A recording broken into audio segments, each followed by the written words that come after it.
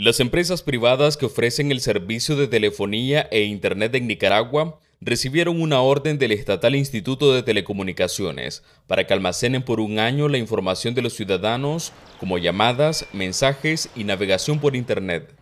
Algunos activistas muestran su inconformidad porque según la norma, la información estará a disposición de la Policía Nacional y del Ministerio Público para que se investiguen ciberdelitos. Es una vil violación a nuestros derechos humanos y a nuestra privacidad.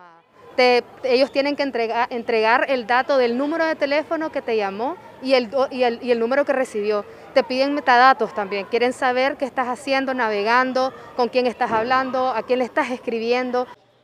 Para la Organización Periodistas Independientes de Nicaragua, el reglamento de la Ley Especial de Ciberdelitos es un claro acto de espionaje pueden ingresar a tus correos, pueden ingresar a, tus redes sociales, eh, pueden ingresar a tu teléfono y eso va a estar legalizado.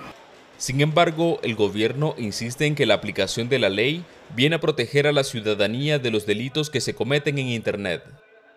Nosotros no estamos agrediendo derechos humanos de nadie.